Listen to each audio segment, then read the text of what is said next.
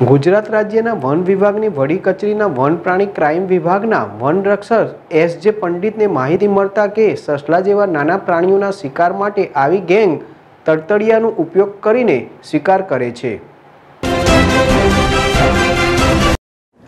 બામણા રેન્જના સ્ટાફ બાતમીના આધારે ગામ રાજપર તાલુકો દાસડા ગામની સીમમાં ફેર કરી નાકાબંધી કરતા મોડી રાત્રે ચારી સમો સીમમાંથી ગામ તરફ નીકળતા તેઓને અટકાવીને તપાસ કરતા તેઓ પાસેથી આ તતડિયું નંગ એક તથા લોખંડની ધાર વગરની તલવારો નંગ બે મરી આવેલ આ બાબતે આચાર્ય ચારેય સમને તમામ રહેવાસી રાજપુર તાલુકો દાસડા પૂછપરછ કરતા તેઓએ આ તરતડિયા અને બે મુઠ્ઠી તલવારો લઈને અંગે ભારત, ભરત ગોરધનભાઈએ જણાવ્યા મુજબ એક બેટરી સાથે એક ડબ્બામાં અવાજ થઈ શકે.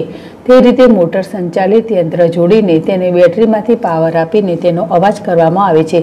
આથી સસલું જાડામાં હોય તો ખુલ્લામાં આવે. ત્યારે તેની ઉપર બેટરીથી પ્રકાશ પાડતા થાય અંજાય જાય અને ઊભું રહી જાય ત્યારે બોથળ પદાર્થ, લાકડી, તલવાર વગેરેથી મારીને પાડી દેવામાં આવે છે અને તેને પકડી લેવામાં આવે છે. આનો ઉપયોગ અંધારિયા દરમિયાન જ કરવામાં આવે છે. આજરોજ તેઓએ પ્રયત્ન કરેલ, પરંતુ તેઓનું સસલું મરી ન આવતા ચંદ્ર ઉગી ગયા બાદ તેઓ મોડું થતાં ઘર તરફ ખાલી હાથે પરત ફરતા હતા ત્યારે ઝડપાઈ ગયા હતા.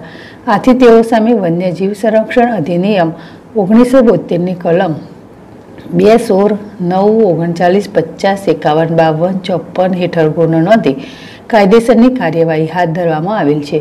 આ ઓપરેશન નાયબ વન સંરક્ષણ શ્રી શ્રી ગુડખર અભયારણ્ય ધાંગધ્રાના માર્ગદર્શનની હેઠળ રેન્જ ફોરેસ્ટ ઓફિસર બાજના દ્વારા સફળ રીતે પાર પાડી ચારેય ઇસમને આબાદ રીતે ઝડપી લેવામાં આવેલ છે. ધર્મેશ રબારી જેડેશ ટીવી ધાંગધ્રા